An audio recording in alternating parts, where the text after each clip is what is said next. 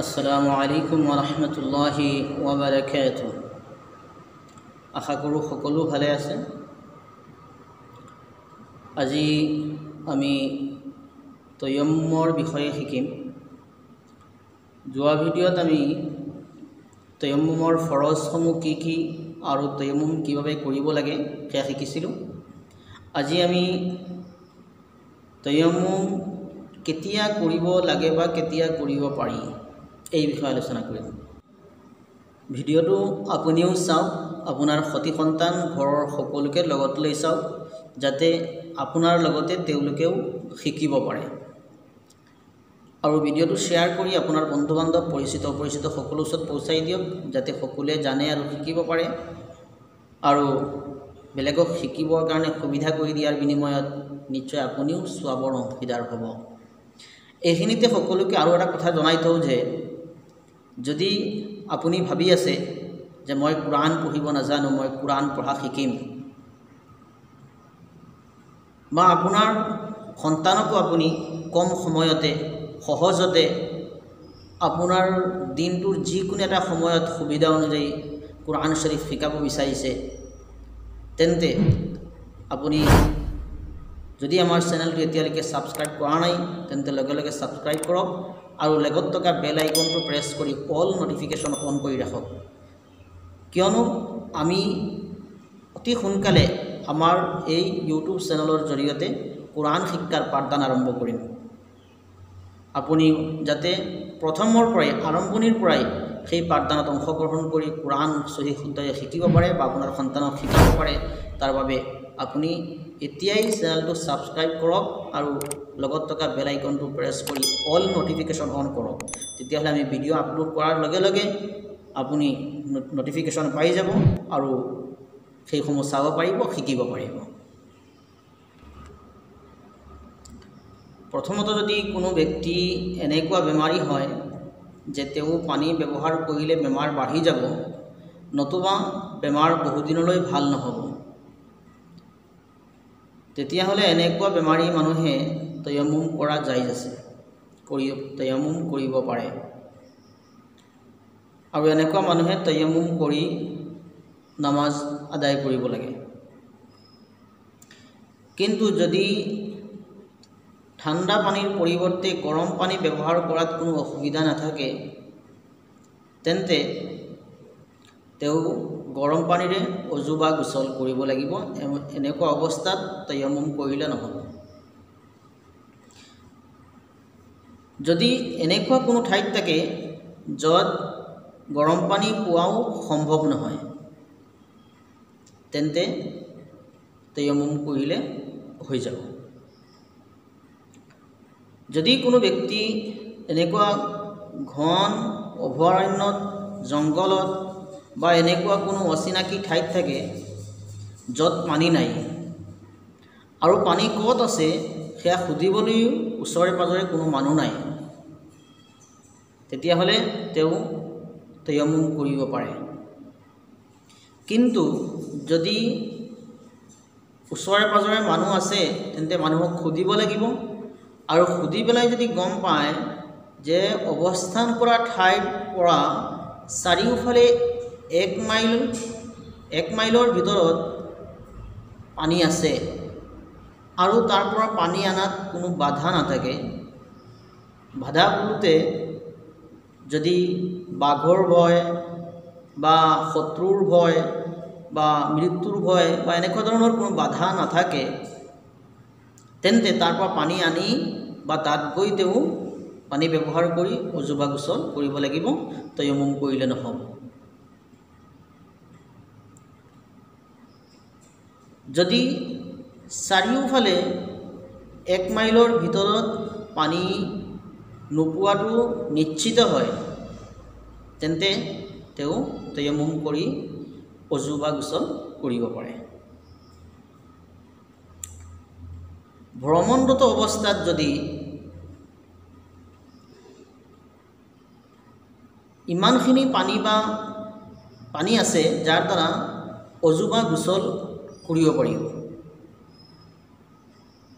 কিন্তু এই পানীখিনি যদি শেষ হৈ যায় অজু গোচল কৰোঁতে পানীখিনি শেষ হৈ যাব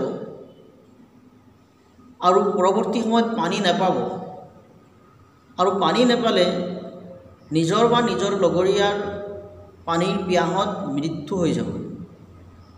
এনেকুৱা যদি হয় তেনেকুৱা অৱস্থাত তৈয়ামুম কৰিব পাৰিব আৰু যদি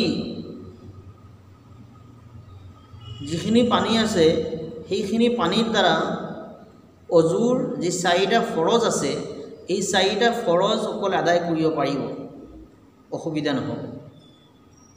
তেন্তে অকল এই চাৰিটা ফৰজ আদায় কৰি তেওঁ অজু কৰিব যেনে মুখখন এবাৰ ধুব দুই হাতৰ কিলাকুটি ওপৰলৈকে এবাৰকৈ ধুব মূৰৰ চাৰিভাগৰ এবাৰ মোচেখ কৰিব দুইখন ভৰি গাঁঠিৰ ওপৰলৈকে এবাৰকৈ ধুব। যদি এইখিনিও ধুব পৰা যায় এইখিনিও কৰিব পৰা পানী আছে তেন্তে এইখিনি কৰি ল'ব তৈয়াম কৰিলে তৈয়াম কৰিলে নহ'ব। কিন্তু এইখিনি কৰিলেও যদি পানীৰ অভাৱ হৈ যাব পিছত পানী নোপোৱা নাযাব আৰু পানী নাপালে মৃত্যুৰ ভয় আছে পিয়াহত তেতিয়াহ'লে তেওঁ তৈয়ামুম কৰিব পাৰিব। যদি এনেকুৱা ঠাইত থাকে য'ত পানী কিনি ল'ব লাগে কিন্তু পানী কিনিবলৈ টকা নাই পইচা নাই বা পইচা আছে কিন্তু এইখিনি পইচাৰে যদি পানী কিনি লোৱা হয় তেন্তে পৰৱৰ্তী সময়ত যাতায়াতৰ খৰচখিনি খৰচ বহন কৰাত অসুবিধা হ'ব। তেন্তে তেওঁ অজু বা গোচলৰ পৰিৱৰ্তে তৈয়মুম কৰিব পাৰে। কিন্তু যদি সেই অৱস্থান কৰা ঠাইৰ পৰা চাৰিওফালে এক মাইলৰ ভিতৰত পানী আছে সেই পানী নিকিনাকৈ পোৱা যায়। তেতিয়াহ'লে তেওঁ তৈয়ম কৰিলে নহ'ব সেই এক কিলোমিটাৰ এক এক মাইল আঁতৰত এক কিলোমিটাৰ নহয় এক কিলোমিটাৰ নহয় এক মাইল। এক মাইলৰ ভিতৰত পানী আছে তেন্তে তাৰ পৰা পানী আনি বা তাত গৈ পানী ব্যৱহাৰ কৰি অজু বা গোচল কৰিব। আৰু যদি নিশ্চিত হয় পানী নাই এক মাইলৰ ভিতৰত আৰু মই কিনিবও নোৱাৰিম তেতিয়াহ'লে তেওঁ তৈয়ম কৰিব পাৰিব।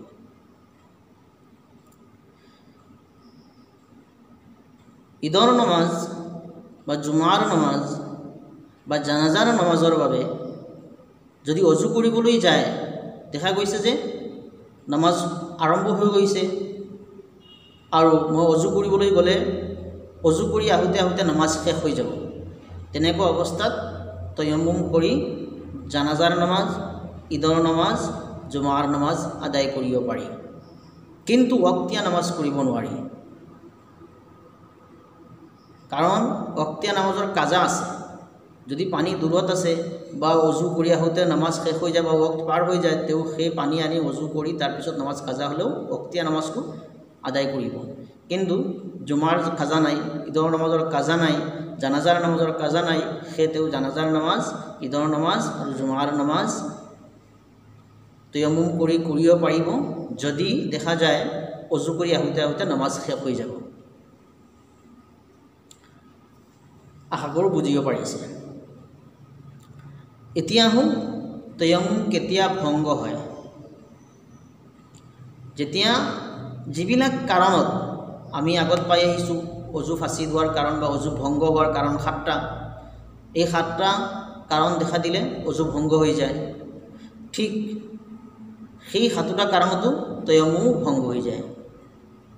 যিসমূহ কাৰণত অজু ভংগ হয় সেইসমূহ কাৰণত তয়মো ভংগ হৈ যায় লগতে যি অসুবিধাৰ কাৰণে তয়মুম কৰিছিল সেই অসুবিধা দুৱাৰ দূৰ হোৱাৰ লগে লগে সেই অসুবিধা আঁতৰ হোৱাৰ লগে লগে তেওঁৰ তয়মুম ভংগ হৈ যাব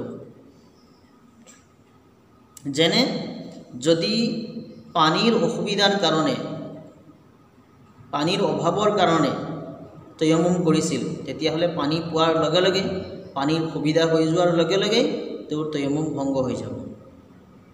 আৰু যদি বেমাৰৰ কাৰণে তয়মুম কৰিছিল তেতিয়াহ'লে সেই বেমাৰ ভাল হোৱাৰ লগে লগে তেওঁৰ তয়মুম ভংগ হৈ যাব।